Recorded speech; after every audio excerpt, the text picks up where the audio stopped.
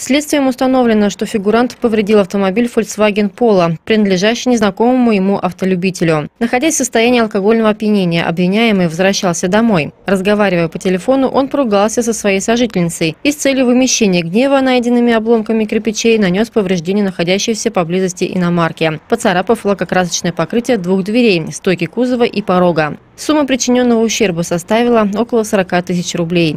После обращения автовладельца в полицию злоумышленник был задержан по горячим следам и стал фигурантом уголовного дела. Уголовное дело направлено на рассмотрение в суд. В качестве максимального наказания ему грозит до пяти лет лишения свободы.